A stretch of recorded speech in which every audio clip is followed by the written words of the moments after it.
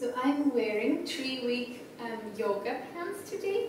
Um, those are really nice leggings and I like wearing them when I do yoga and when I do workout because they are very comfortable and they fit really nicely and they look very stylish. So I'm going to show you a couple of my favorite yoga poses.